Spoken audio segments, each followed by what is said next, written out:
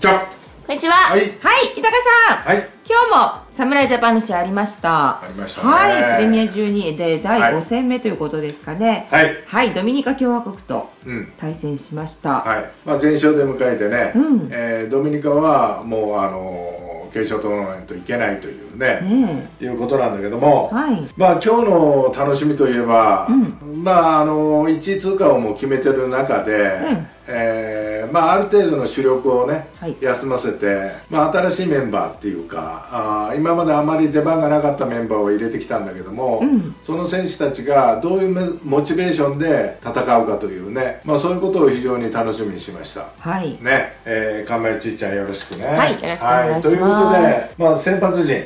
はい。えー今日のスタータはいーを見てみたいと思うんですが、はい、あの打順と守備ともに変わらないのは4番、5番以外はちょっといいつもとは違う。まあそうだね。メンバー打順っていう感じでしょうか？まあ、セカンドに、まあ、頭からいくと、うん。まあセカンドに村林、はい。えーファーストに清宮、うん。まあ、佐野が DH から今日は守備に使わしてね、そして3番に上がってきていると。はい。まあ、レフトということ、うんで森下栗原、えーキャッチャーに今日は坂倉、はい。でショートに紅林、うん。えー指名打者に佐藤を入れてきて、はい。まあ、センター磯端というね、うん。えー布陣を引いてきたんだけども、はい。まあ、このメンバーでどういうふうな試合になるかというね、まあ、やっぱこう全日本に入ってるぐらいだから、うん。まあ、それなりのあの実力もあるしねあの期待してもいいと思うんだけども、はいやっぱ待っていたどういう調整ができてるかどういうモチベーションなのかで決勝トーナメントに入って使えるのか使えないのか、うん。まあ、そういうことも含めてねちょっと追っていきたいと思います。そういう意味ではね結構重要な一戦っていうかね。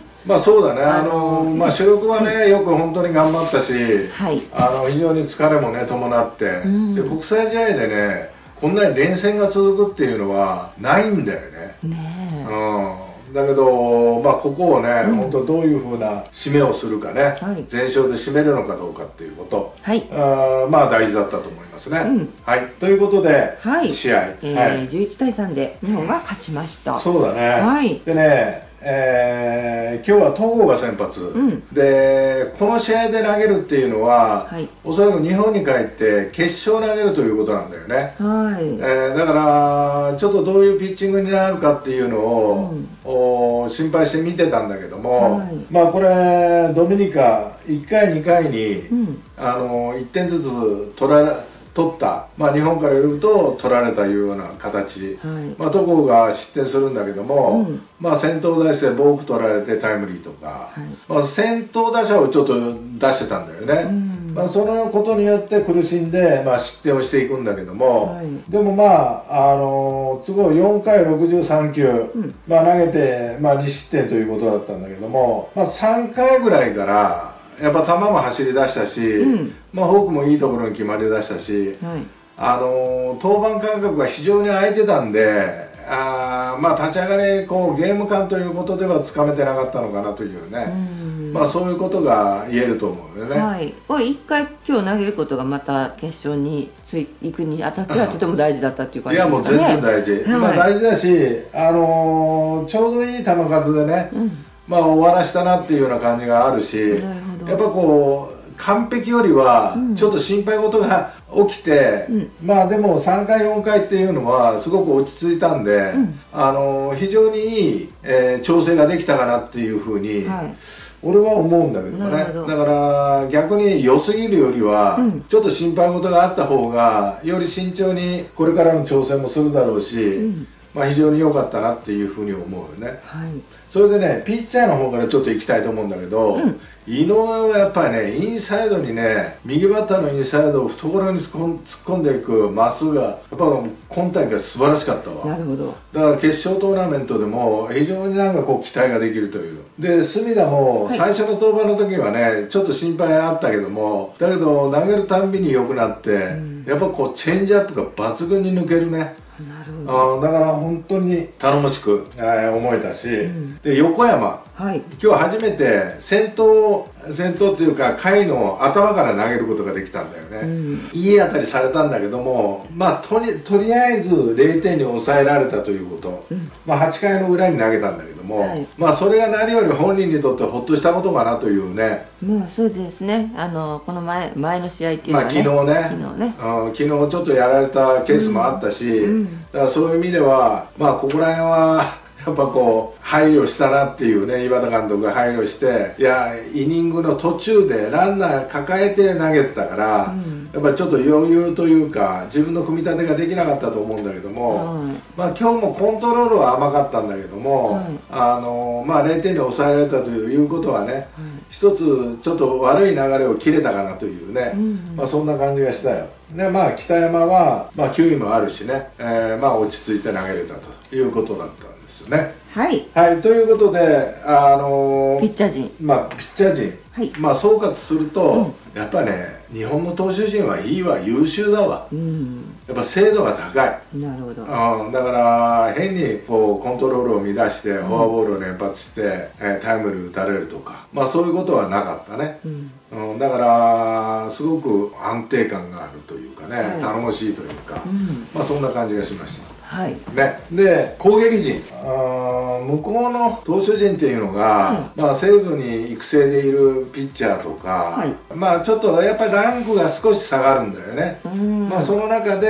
えーまあ、戦ってて、まあ、初見だから打ちにくいとは思うんだけども、はい。えーちょっと問題点があったのは3回はい。表、えー森下内野安打栗原フォアボールで、はい。ツーアウト一二塁から、これね気をつけなきゃいけないのが、やっぱ外国の野球っていうのはこう雑に見えるけどもここで一塁にピックオフしてきたんだよね、はい。で栗原がちょっとこうボールに当たるかなんかでちょっとタイミング的にはアウトっぽかったんだけど、はい。ボールがちょっとそれたことによって、えーセーフになった。だからやっぱりこうなんていうの外国人だからこう雑な野球とかそういうことではなくてやっぱしっかりそういうこともやってくるということは本当にちゃんと頭に入れといてほしいなっていうことだよね、はでツーアウト満塁から佐藤がタイムリーこの回にうん打つんだよ、はい。まあ、DH の佐藤ね、はい。えーフルカウントから。でランナー一斉にスタートツーアウト満塁だから、ランナースタートする。で1点を取り、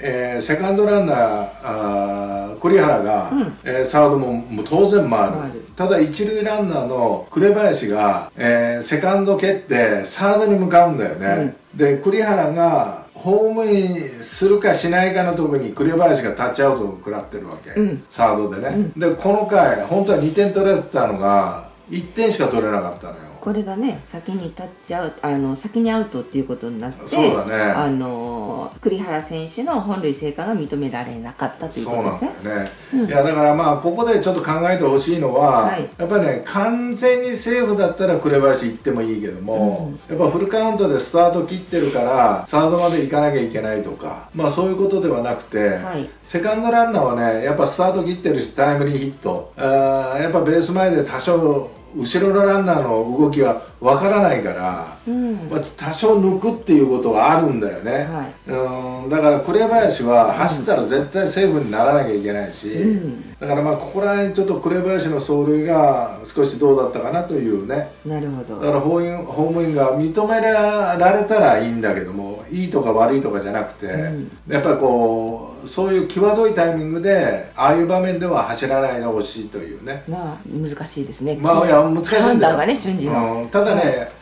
一塁ランナーとして紅林が走った場合に、うん。レフト前だったんで、はい。見えるんだよね。どういう処理をしてるとか,、うんうんだからそのタイミングはしっかり測ってほしいっていうことだよなるねほど。走りながらね。そうだね、で5回表まああのー佐野森下連続フォアボール。これね、まあピッチャーが変わったところだったんですよね。ノーアウトランナー1、2塁、うん。まあ、栗原タイムリー、はいえーこれもねやっぱ佐野があのいい判断したね、えーショートライナーかなと思うのをうんうん。ベースに帰りながら、はい。抜けたと思ってこう反転して、うん。ホームまで帰ってきた走塁というのは、まあ、佐野は見事だったと思うよね、はでこの回ワイルドピッチとか、はい。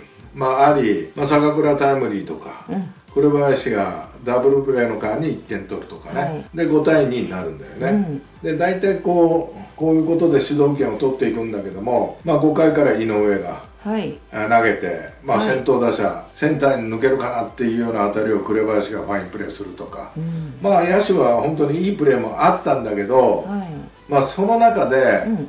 ちょっと残念だったのが、6回清宮井上の牽制にランナーが引っかかるんだったらいいけど、ランナーも引っかかってたんだけど、清宮まで引っかかって ボールをそらしてたというね。ちょっとねそれではちょっと、まあちょっと困るんだよね、うんこういうのはあれですか？サインプレーっていうこと？でまあ、サインプレーじゃなくてまあ、左ピッチャーではファーストだったら、ファースト牽制来るか牽制しないのか、うん。それを見極めて守備体系に入ればいいんだけども、うんホームに投げたみたいな感じのちょっと抜き方があったんだよね、で慌て来たから慌ててボールが取れなかったということだったんだけども、まあ、これではちょっと困るなというね、この回それでまああ次のバッターがピッチャーゴロ、うん。えー三塁まで行かれて、まあ、ワイルドピッチで、えー1点を失うんだよ、うん。ね、まあまああのー点数があったからよかったものの、うん。まあ、清宮はねもう一つバウンドを取り損ねて、あのー合わし損ねてその前にありましたかね。その後だ後でしたかね。後うんあの後ろにそらしたケースがあったんだけども、まあああいうのも一塁であればファーストであれば、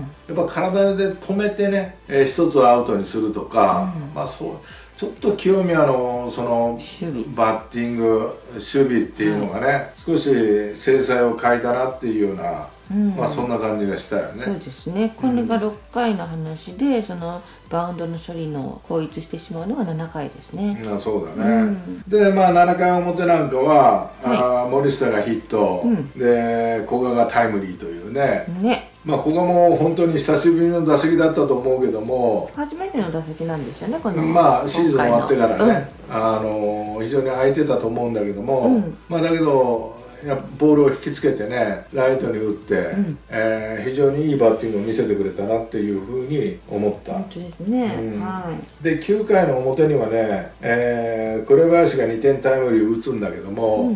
やっぱあのなんていうのまあ大体勝敗は決まってたんだけどもね、はい。まああのフルベースでフルカウントまで粘って粘って持ってってね、でこう甘いボールをレフトに、えー持っていくんだけども、まあ非常になんかこう気持ちが入った、まあ、最後まで抜いてないというかね、抜かないバッティングお勝利に対しての執念、まあ、そういうのを感じたあのバッティングをしてくれたしはい。で佐藤は DH に入って、ん。今日3安打。うん。まあ、2, 打2打点だったかな、まあ、いいバッティングを見せてくれるし、はあの特にね左バッターっていうのが、うん。引きつけて反対方向栗ば栗原とかもそうだけども、はい。まあ、3もどちらかというとそうだね、引きつけて反対方向反対方向持っていったっていうのがすごく今大会の印象的なあーシーンが多くあったね、うん。だから非常にやっぱこう考えられたバッティングもしてたなっていうふうに思う。うん。で続く磯端もタイムリーを打ったというね、